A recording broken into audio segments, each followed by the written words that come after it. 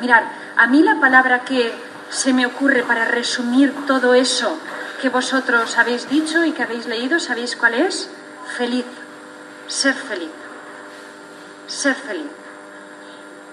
Cuando uno tiene amigos, ¿a qué es feliz? A que cuando uno es igual a otro y no lo tratan diferente, ¿a que uno es feliz? ¿Verdad? A que cuando uno tiene educación y aprende, ¿a qué es feliz cuando aprende? ¿A que sí? A que uno es feliz cuando le respetan y no le tratan mal. A que uno es feliz, ¿verdad? Feliz. Felicidad es eso. Los niños y las niñas, igual que todas las personas, tienen que ser felices, pero vosotros por encima de todo, por encima.